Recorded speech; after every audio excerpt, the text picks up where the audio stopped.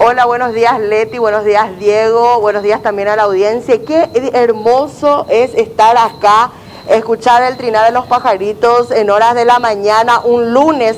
Te da una energía tremenda este espacio verde que lastimosamente, debido a la desidia de las autoridades, se convirtió en un aguantadero de delincuentes.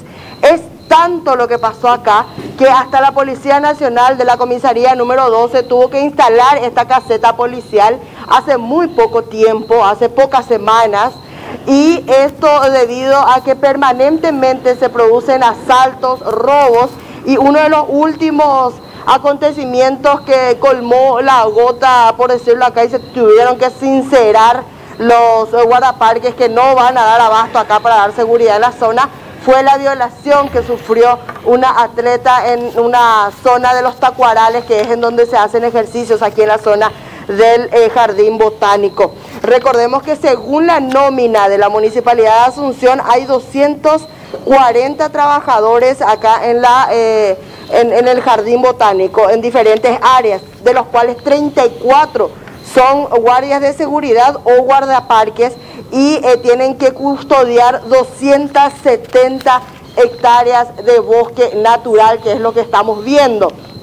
Esta caseta policial está instalada a pocos metros de la entrada principal del Jardín Botánico, está al lado eh, del Museo de Historia Natural y ellos eh, comentan de que hacen ciertos recorridos permanentes con patrulleras. Estuvimos viendo que la patrullera va y viene y no solo eso, tienen también refuerzo de eh, los agentes eh, linces y también eh, de la montada, porque recordemos que acá no es el problema.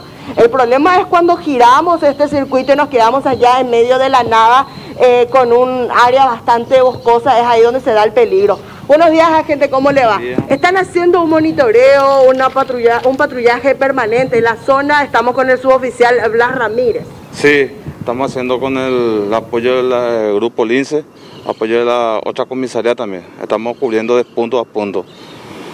Ahora hay, por ejemplo, en los circuitos instalados algunos efectivos policiales. Sí, sí, y en todos los puntos. Acá en la, otra esquina, en la otra esquina, hay personal policial apostado. ¿Y en los circuitos, hacia los tacuarales, por ejemplo? Sí, sí, los grupos policiales están haciendo su recorrido en esa zona. ¿Disminuyó la sensación de inseguridad o la sensación de seguridad ahora acá en la zona? Ahora por suerte, justamente ahí está viniendo el eh, grupo Lince que está haciendo su recorrido en esta zona. Ahora en este momento no hay nada. ¿No recibieron todavía denuncias eh, de personas que ah. fueron asaltadas en esta última no, No, no, no, no, ni una denuncia. Entiendo. Sí. Son entonces estos eh, linces lo que están haciendo los recorridos permanentes. Sí, hay un grupo, eh, tres motocicletas del grupo Lince que está haciendo su recorrido constantemente. Entiendo. Sí. Perfecto. Muchas gracias, su oficial. Recordemos, Leti, que este, este es un horario en el que la gente hace muchísimo ejercicio en la zona. Así es que es fundamental de que eh, haya un resguardo policial, pero esta no es prácticamente la zona en donde hay muchos, eh, muchas personas que se están ejercitando. Hola, buenas. ¿De qué, de qué área estaban, eh, estaban monitoreando? Área acá, zona, a mí decir acá, zona Jardín Botánico, 12, principal ¿Fuera del Jardín Botánico? También dentro. ¿Se puede hacer la zona de Tacuaral y demás? Sí, acá principalmente más prioridad y acá adentro. ¿Qué pudieron observar en el trayecto? Y la mayoría de la gente se está caminando acá, ahí en una zona más boscosa y eso. ¿La gente les dice en algún momento que se siente más seguro cuando ustedes están monitoreando por ahí, como que pasando y pasando? Sí, por supuesto, señora. ¿Ya te tocó gente que te decía, por suerte están por acá? Sí, gracias. Gracias a Dios están acá porque ya, ya hacían faltas.